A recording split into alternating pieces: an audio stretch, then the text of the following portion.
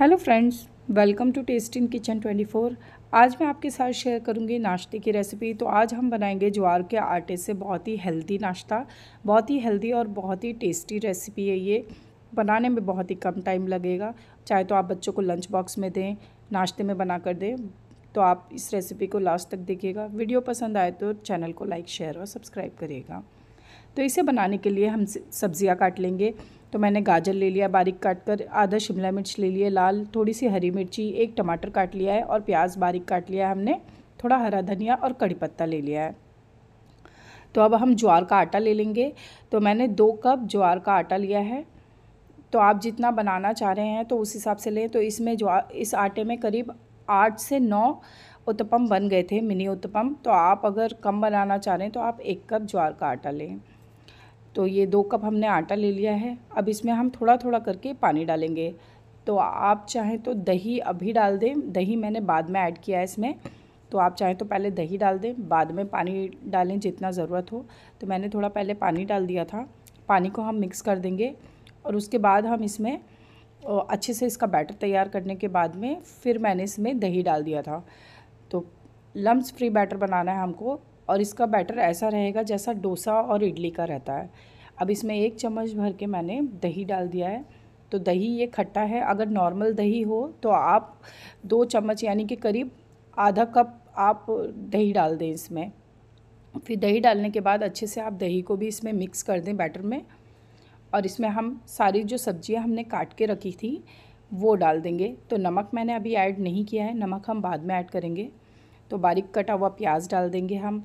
और मैंने गाजर को फाइन चॉप किया है। अगर बच्चे कटा हुआ नहीं खाते हैं सब्ज़ी तो आप इसको ग्रेट भी करके डाल सकते हैं सब्ज़ियों को, अगर बच्चों के लिए बना रहे हैं तो। शिमला मिर्च ले लिए एक हरी मिर्च तीखी वाली और एक हमने बड़ी वाली हरी मिर्च काट ली थी और हरा धनिया डाल दिया है। इसमें काट के टमाटर डाल दिया हमने। आप चाहें तो पालक, मेथी भी ऐड कर सकते हैं। फिर इन सब्जियों को डालकर हम इसमें मिक्स कर देंगे। और मिक्स करने के बाद में इसमें टेस्ट के अकॉर्डिंग हम इसमें नमक डालेंगे। और कोई इनो या सोडा कुछ नहीं डाला है हमने इसमें। सिर्फ़ नमक डाल देंगे और ये पूरा बैटर बन के तैयार है। फिर कुछ देर के लिए हम इसको रख देंगे। तो कम से कम दस मिनट के लिए आप इस बैटर को ऐसे ही रख दें। या तो सब्ज़ी बाद में मिलाएँ। सब्ज़ी मैंने डाल दी थी। तो सब्ज़ी डालने के बाद में मैंने इसे कवर करके रख दिया था। तो थोड़ा सा मैंने इसमें जीरा डाल दिया है। और इसे अब हम ढककर कुछ देर के लिए रख देंगे, तब तक हम इसकी चटनी तैयार कर लेंगे। तो हमने नारियल की चटनी बनाई है तो मैंने फ्रेश वाला नारियल ले लिया है और उसमें हमने थोड़ा सा हरा धनिया डाल देंगे। दो हरी मिर्च डाल दी है मैंने इसमें और आप चाहें तो रोस्टेड चना जो आता है, वो भी डाल सकते हैं थोड़ा सा इसमें, मैंने वो नहीं डाला है, सिर्फ़ नारियल की चटनी बनाई है। और दो चम्मच हम पानी डाल देंगे और थोड़ा सा नमक डालकर और इसको हम ग्राइंड कर लेंगे तो चटनी बनकर तैयार है। अब इस चटनी को हम सर्व कर लेंगे और बाद में इसमें तड़का लगाएँगे। तो इस चटनी को आप डोसे, इडली के साथ या पराठों के साथ भी खा सकते हैं। बहुत ही टेस्टी लगती है ये चटनी। तो आप इसे बनाकर दो तीन दिन के लिए फ्रीज़ में स्टोर करके भी रख सकते हैं। और इसका तड़का लगाने के लिए हमने एक चम्मच तेल गरम कर लिया है तड़का पैन में। थोड़ा सा राई डाल देंगे उसमें। कड़ी पत्ता हो आपके पास तो आप वो डाल दें। तो चार पाँच कड़ी पत्ता डाल दिए मैंने। एक लाल मिर्च डाल दी है हाफ़ हाफ़ करके उसको और इसको थोड़ा हम पकाएँगे। तो एक मिनट तक आप इसको लो फ्लेम पर थोड़ा तेल में पकने दें और उसके बाद इस तड़के को हम चटनी पे डाल देंगे। तो कड़ी पत्ते से इस चटनी में काफ़ी अच्छा टेस्ट आता है। अगर हो तो आप डालें अदरवाइज़ आप स्किप कर दें। सिर्फ़ राई से और लाल मिर्च से आप तड़का लगा दें। तो ये चटनी भी बनकर तैयार हो गई है। अब हम उत्तपम बनाना स्टार्ट करते हैं। तो मैंने बड़ा पैन लिया है। तो बड़ा पैन था मेरे पास, इसलिए मैंने इस पर छोटे छोटे चार उत्तपम बना लिए हैं। अगर आपके पास छोटा तवा हो तो आप उस पर दो बना लें, या और भी छोटे आते हैं जिसमें मिनी उत्तपम बन जाते हैं। तो आप वो वाला ले सकते हैं, उसमें एक साथ चार बना लेंगे आप। तो ये मेरा बड़ा तवा था। तो चार इस पर आसानी से बन गए थे एक साथ में। और मैंने बीट रूट को कद्दूकस करके रखा हुआ था, ग्रेट करके तो वो थोड़ा सा ऊपर से बीट रूट डाल दिया है इस बैटर के ऊपर से। तो ये बैटर इतना गाढ़ा होना चाहिए कि आप इस पर डालें तो ये देखिए, वहीं पे उतना ही है, ज़्यादा फैला नहीं है, पतला होगा तो ये बहुत फैल जाएगा। तो ऊपर से हमने बीट रूट डाल दिया है, ग्रेट किया हुआ, और थोड़ा सा हरे धनिया की पत्ती डाल देंगे। आप चाहें तो प्याज और गाजर भी डाल सकते हैं ऊपर से। अगर बच्चे नहीं खाते हैं कटी हुई सब्ज़ियाँ तो आप ये सारी सब्ज़ियाँ बैटर में मिक्स कर दें। फिर थोड़ा सा मैंने ऑलिव ऑयल डाल दिया है तो हमने इस रेसिपी को काफ़ी हेल्दी रखा है। तो उस हिसाब से वेट लॉस के हिसाब से ये काफ़ी अच्छी है, आप वज़न कम करना चाह रहे हैं हेल्दी डाइट पे हैं तो आप इस तरह से ज्वार का उत्पम बना के खा सकते हैं, डोसा भी बना सकते हैं इसका।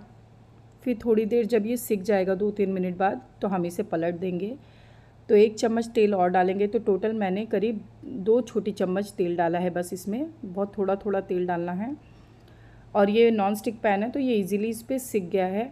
आप लोहे के तवे पे भी बना सकते हैं उत्तपम। अगर आपके पास ऐसा पैन नहीं है तो आप लोहे के तवे पे बना लें। फिर इसको अलट पलट कर हम अच्छे से सिकने देंगे। अब इसे मैंने कवर कर दिया है ताकि ये अच्छे से स्टीम में पक जाए, कच्चा ना रहे बिल्कुल भी। तो इसे हम मीडियम फ्लेम पर पाँच मिनट तक कवर करके पकने देंगे। फिर बीच में हम चेक करते रहेंगे और इसे आप पलट दें ताकि ये ऊपर से भी अच्छे से सिक जाए।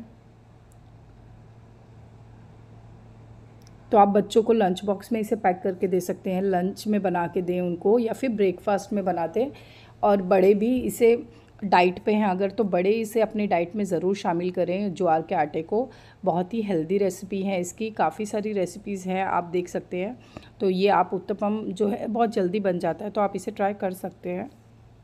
फिर इसे अलट पलट कर हमने अच्छे से सेक लिया है। तो आप प्रेस करके थोड़ा सा सेक लें ताकि ये कच्चा ना रहेगा इसे। तो वो हमने निकाल लिया। और जो बाकी का बचा हुआ बैटर था, उसके भी मैंने इसी तरह से उत्तपम बनाकर और अच्छे से सेक लिए हैं। तो थोड़ा सा बैटर और बचा था तो आप चाहें तो इस तरह से थोड़ा बड़े साइज़ का उत्तपम भी बना सकते हैं। तो इस तरह से बचा हुआ बैटर मैंने पूरा पैन पे डाल दिया है और ये एक रोटी के साइज़ का बन जाएगा। तो आप चाहें तो छोटे छोटे बना लें या फिर बड़े बड़े बना लें आप। तो ये उत्तपम बनाकर हमने सर्व कर लिए हैं। तो इसको मैंने हरी चटनी के साथ सर्व किया है और लाल चटनी बनाई थी हमने, टमाटर और प्याज की बनती है ये चटनी। तो ये मैंने पहले शेयर की हुई है, आप देख सकते हैं इस रेसिपी को।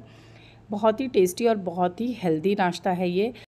बच्चे बड़े सभी के लिए बहुत हेल्दी है ये और आप वज़न कम करना चाह रहे हैं तो ज़रूर आप इसे बनाकर ट्राई करें।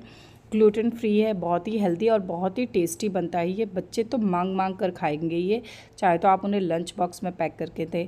तो कमेंट्स में बताइएगा ज़रूर कैसी लगी ये रेसिपी और आप अगर मेरे चैनल पर नए हैं तो मेरे चैनल को लाइक शेयर और सब्सक्राइब करें।